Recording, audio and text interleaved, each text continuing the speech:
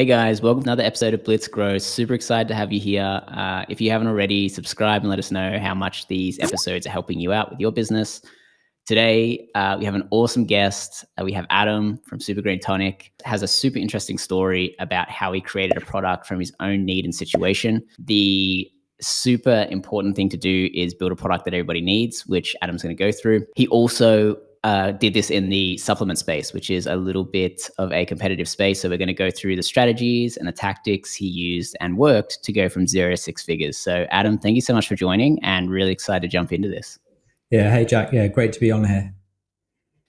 Uh, so I love to start every episode with what's your elevator pitch to someone you meet at like a conference, an event, or how do you introduce yourself? How do you sort of sum up your your value and yourself in in two sentences? That's interesting. Yeah, I, I, I struggled with what to what to say to introduce myself. I always I always used to say I was self unemployed, or I'm, I'm, unemployable. But uh, yeah, I mean I I'm a, a, founder of a supplement company and uh, an expat. I actually live in Malaysia. I'm obviously from the UK, but my family and I we moved to Malaysia about six years ago and actually founded the company in the US. So it's quite interesting. Mm. Well, interesting is one word. Challenging is probably more uh, like it. Yeah, being uh, an expat in one country with a company in another country that sells also to well globally uh, has been challenging, especially like the US, like setting up everything there and and the time mm. and the time difference. As you know, you've uh, kindly uh, stayed stayed up later to do this podcast. yeah. yeah. well, I think uh, we might also touch on that as well because there might be some other expats or definitely people who have moved countries recently um, and how to kind of navigate that because I know it's tough with your citizenship, your bank accounts, and all that sort of stuff, but. We won't dive into that stuff just yet. Um, we want to hear a little bit more about the founding story. So, you know, how did you start Supergreen Tonik? How did you uh, validate the product and the idea? Um, what was kind of like the first few weeks of uh, the company looking like? Yeah, I mean the I guess the the uh, the reason I set up the product actually is because I wanted to take it. I, I was researching different greens products, and the great I mean, there's many great things about living in Malaysia. The the downside is actually a lot of the meals don't have uh, that many vegetables in there unless you go for particular vegetable dishes. So I found that I wasn't really, even though I was eating very well, probably too much, I was not getting all the greens and all the nutrients I needed. So I thought, well, that, that greens powders, I've heard of these. Obviously, there's some big players in the space. So I tried a number of products and, and they were really expensive to get here. And I thought, well, mm-hmm. yeah, if I'm going to spend this sort of money, I want to make sure it's the best product I, I can try. And there was always something missing in the products I tried, whether it's cost, the ingredients, proprietary blends, etc. So you don't know really what's in it. So I thought, well, I have some experience with supplement clients in the past, so I thought let's let's just create one.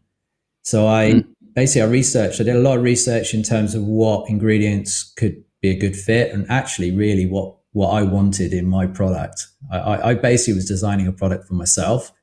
So it mm. had, you know, greens, immune ingredients, and nootropics. So that's that's really what I wanted in there and we we spent some time uh, just speaking with manufacturers in the US, and, and actually we decided to do it in the US because of that confidence. Really, uh, we're in we're in Asia, and although the manufacturing costs could be a lot cheaper here, I wanted to really produce it in the US, knowing that we could sell it worldwide if it was a mm. product that yeah had legs. So we, yeah, we went through three or four different companies to get quotes. So then we worked with them to refine a formula that would taste pretty good and also would tick the box in terms of what I wanted in there. And then we did a sort of a minimum run, really, a minimum con- for contract manufacturing. It's sort of fifteen hundred to two thousand units as a as a starting point. So it's a bit of investment. I mean, at the start, I probably put in, yeah, sixty, seventy thousand dollars. Just uh, that's you know for for the product and also some other work around, you know, in terms of the design. Because uh, my background is web development, but it's not really design, so we had some help there. and yeah, uh, and originally it was it was a case of right, let's see, let's see if this is a business that actually commercially works. If not, I've got 1500 tubs to drink, to drink over the next few years. Good fallback plan. yeah, exactly. Yeah, I'll be giving a lot of presents away. Uh, supergreen tonik, and actually, nice. yeah, that that's how it started. I mean, I I'd already started blogging about greens products and about being an expat and being self unemployed in Malaysia. So I, I grew a little bit of an audience or a bit of SEO related traffic around this. So mm-hmm. I looked at it that I was 50% sure or 50% or more sure that I would make sales. The real question was how many and would it be actually a sustainable business? But how long were you building your audience for prior to the product launch? And then, you know, what sort of volume of traffic were you getting before that? Just so people have a bit of a benchmark to figure out like how much traffic they should get to before they start trying to sell a product to them. Sure. I mean, the blog I set up actually wasn't it wasn't meant to be commercial, so it, uh, there was no commercial intent on the blog. It was just actually I I decided to take a year out, and as well as getting fat sitting by the swimming pool, I thought I need to do something productive. Otherwise, I'm gonna just yeah I'm gonna struggle get, to get back into work. So I just sort of started blogging three or four times a week and my writing sucks. So I found it hard, and it, it, it still sucks, but a little bit less. Um, so yeah, I was doing three or four blog posts around one to two thousand words in length, and it was very random. They, like initially, it wasn't talking about nutrition, although I started to test different products. I mean, like the ring, um, you know, tested that out. Tested other products that I found interesting, and that's how I first got into the greens uh, supplements. So actually, at this at that time, I think I was blogging for a good. Actually, before I even talked about anything greens related, it was a six or seven months into the blog. Uh, and actually, one thing I, I did that really helped with the blog is doing the interviews. And actually, I did it old school rather than uh, the the video podcast now. This was all written, you know, Google Docs, send it to, to a friend or someone I just met, say, hey, can I interview you? And I did that to a few people that quite known, well known in the digital marketing space. And so the blog got a, well, got a good spike in traffic from that. And I still use that tactic now. Actually, I interview people, you know, to get uh, SEO traffic from their their sort of brand or their name for people that are interested. It, it, it allows me to get to know someone a bit better as well if I want to work with them. It also means it's a bit of exposure for the person, obviously, that we're interviewing.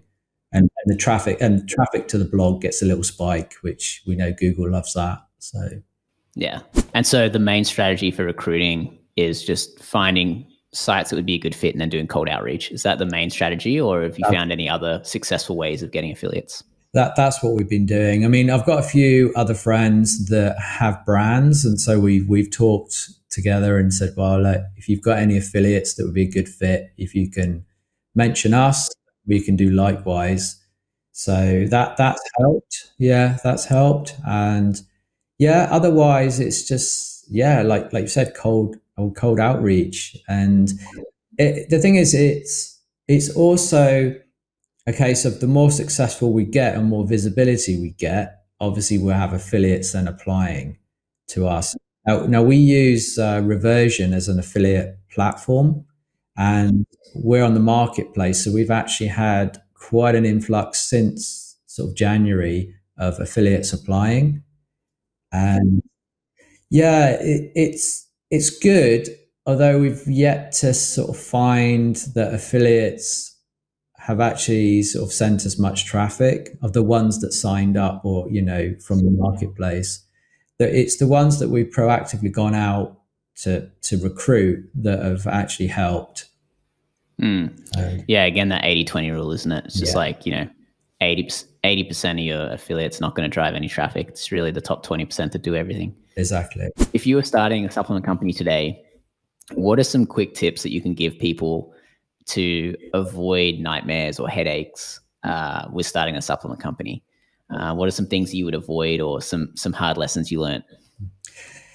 I, I mean, it's a lot easier if you do the white label stuff. So if, if you went with the approach of I've got an angle that I'd like to test, you know, I'm I'm going to try uh, like say nootropics to you know 60 year olds or you know a particular angle and you think right I, I, I know there's a product I can buy off the shelf. I can buy 100 units or 50 units and just give it a try.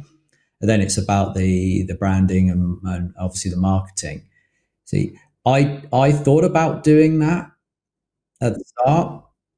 I thought, you know, if I just put up a page, you know, just market and just do some advertising, let's just see. But I, I actually, for me, I know that because paid mark, paid marketing isn't my thing. I'm slowly, still, still trying to get my head around it. And uh, we've talked about that before. And so I think I would have given up if it would, if I'd have taken that approach because the whole point of why I did the product is because I wanted to take it and, and 99 out of 100 of the white label products I wouldn't take because it, it wouldn't wouldn't have the dosages or the ingredients I wanted in it. So that wouldn't have been sort of congruent for me to market that way. But if if you were purely looking at it from a marketing perspective, you wouldn't do it the way I did it. because uh, it's too long. It just takes too long. You, are investing not small change into it. You know, a year of your life and 60, 70k minimum. So so you wouldn't do it that way. But yeah, you can. There are so many sort of manufacturers now that you know private label, and and, and they're decent manufacturers. It's just the product is you know they manufacture thousands of these same same uh, ingredient profile uh, supplements, and you can just put your branding on there. You can go to Upwork, get a decent you know label done or logo, and and you can build a website out uh, fairly cheaply. You know, there's there's companies now that are dedicated to doing these sort of more landing page style e-commerce uh, sites rather than the traditional Shopify sites. And, and, you just do that, and you would you would try. And actually, uh, we're doing some Pinterest stuff at the moment, which is interesting because Pinterest are really pushing uh, e-commerce now, and so we have. Uh, well, a friend of mine, he's managing that uh, for us. So that's interesting. I mean, it's early days, but the the cost is a lot cheaper on Pinterest. Yeah. So that's that, that's interesting. It's something I never would have looked at before, and that that things like this, I, I would uh, I would try the the influencer route. I know a lot of people say that, it, that this is the this is a good solution for sort of getting getting the product. It hasn't worked for us uh, uh, obviously, I mean, our product isn't a cheap product, so to actually even to produce, it's not cheap. So actually sending out thousands of tubs to influencers, it's a tough one. We're going to have such a high conversion rate for us to make that work, and finally it didn't. so yeah, yeah. Hey guys, we put a bunch of effort into making great content for this YouTube channel. So please hit subscribe, uh, leave us a comment, hit like, and tell a few friends about it.